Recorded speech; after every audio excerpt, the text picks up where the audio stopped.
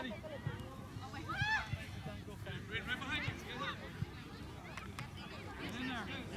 you go, defense up to the 50.